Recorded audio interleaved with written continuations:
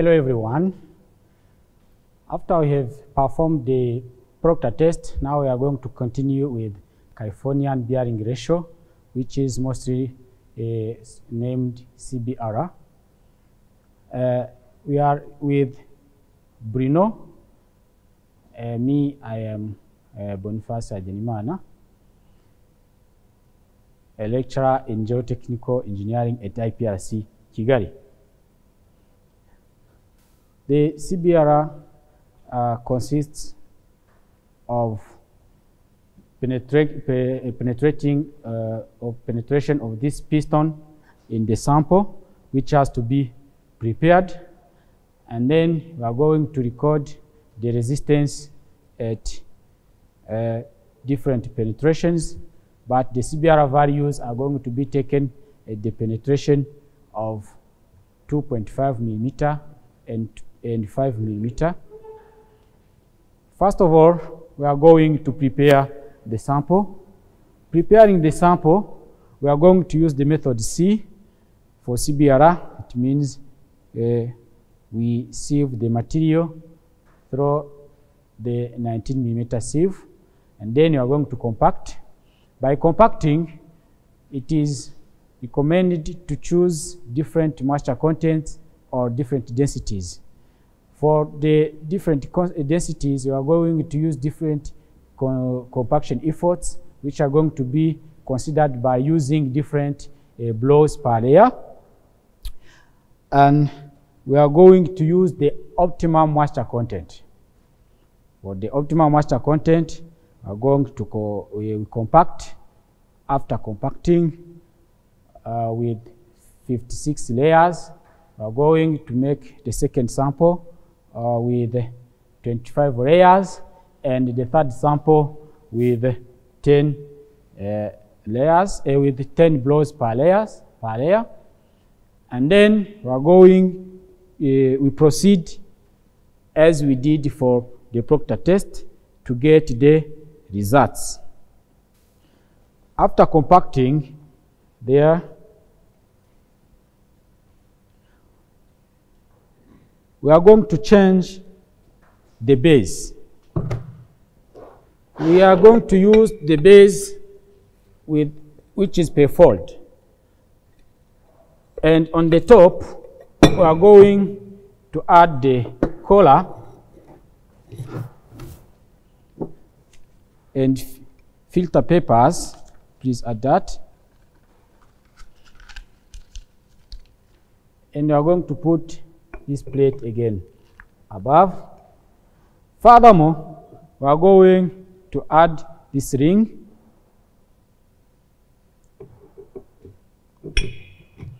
Uh, doing this is important for the soaking process. The CBR can be is normally done after soaking the sample for four days and we soak it uh, by soaking we need this support and uh, the gauge this gauge is going to help us on determining the swelling of the soil. Because once the soil gets underwater it may swell. It means the expansion. That's why after after finishing this, we are going to take the samples in the bath for four days. After every compaction, we are going to verify the moisture content.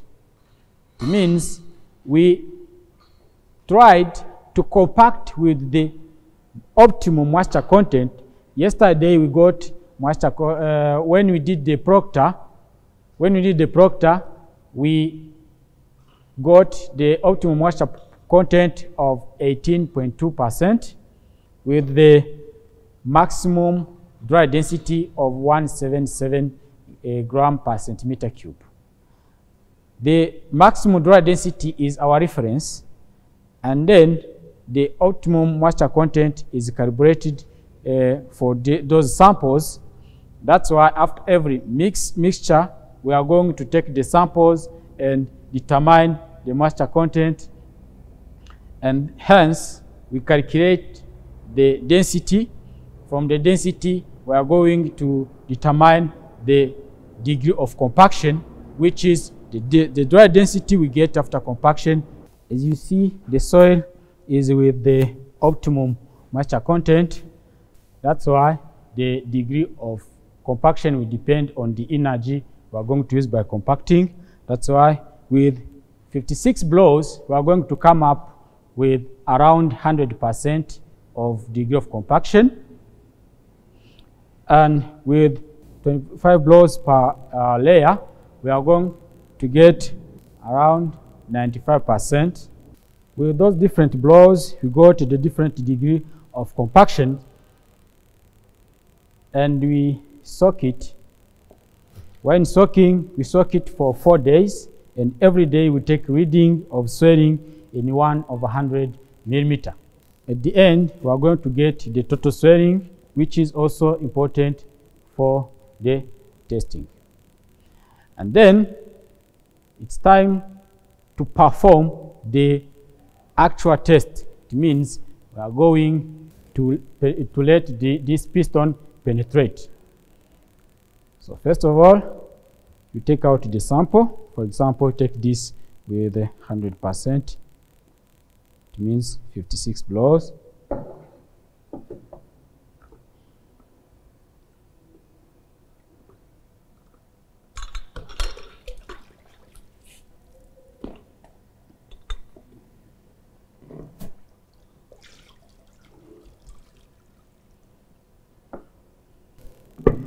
Now, you can prepare it for the testing. It means going to take away those rings. As you see, before putting the plate, we put the paper, filter paper. Take away also the filter paper.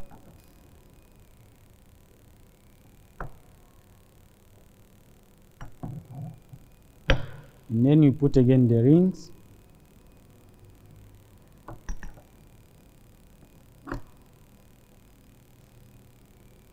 And you put it in the machine.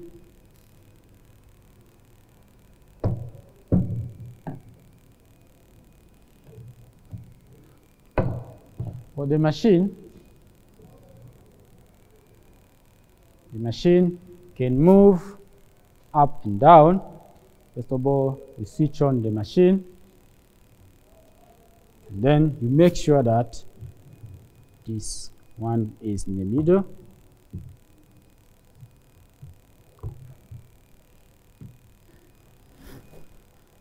The machine can move and the machine had an adjustable speed.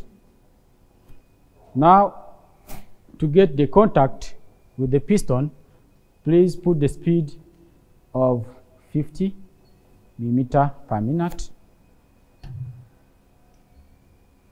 Enter. And you go up.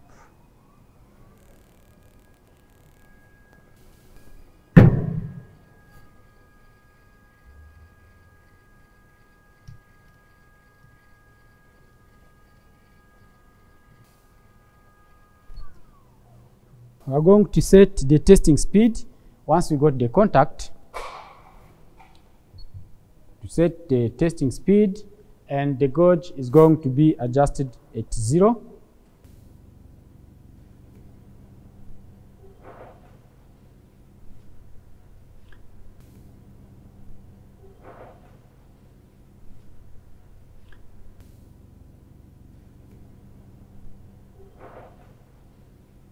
After adjustment, we are going to test on a constant speed. The standard says that we have to test it on around 1.25 millimeter per minute or 1.27 depending on the standard. The speed is set. And now this ring is going to help us to get the load in kilonewton. It means we are going to, to take the deformation of the ring that we are going to record here. We multiply by the ring factor. About the penetration, there are two possibilities. Either you can take a gauge here, you can take gauge here that controls the movement of the machine. The sec secondary, and what we are going to do is to consider the speed. Since we are going to load on constant interval, it means uh, 0 millimeter, 0, uh, after 0.63 millimeter, it means after 30 seconds, considering our speed, and then we are going to record after one minute and so on, one and a half minute and so on, until we are going to reach the 10 millimeter readings. So now we are going to start the machine and with the stopwatch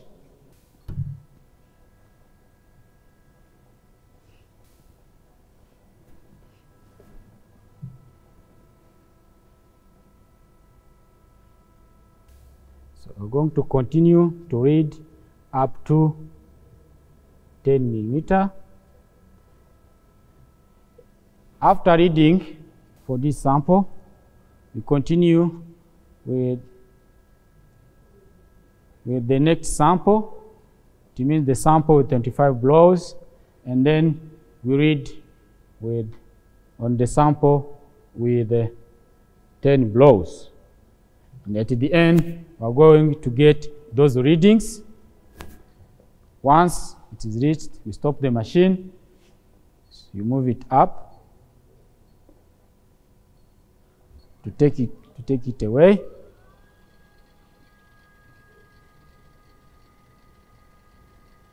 You can increase the speed so that it comes out so quickly. While he's increasing, we see the readings from the from the three samples and then for each reading we are going to multiply by the ring factor to get the load. After getting the load, we are going to plot it graphically. It means the first one, it means below, is for 10 blows per layer. The second one, the blue one, is for 25 blows per layer, and the red one is for 56 blows per layer. And then, after getting that, we are going, getting that, we are going to compare, to take the load at 2.5 millimeter and the load at 5 millimeter for each sample and you are going to compare them with the standard ones. The standard ones, the standard ones are given, they are given in megapascal from the standard. You can convert them by multiplying by the, uh, the load with the cross section. This piston has a, a diameter of 50 millimeter. After getting that, are going to get the CBR values 82.5 and 85. Afterwards, for each sample, we are going to choose the maximum of both. That will be recorded as CBR index. And for every density we have, we are going to show the, the graphic representing the CBR index and the dry density of the sample we used. Thank you.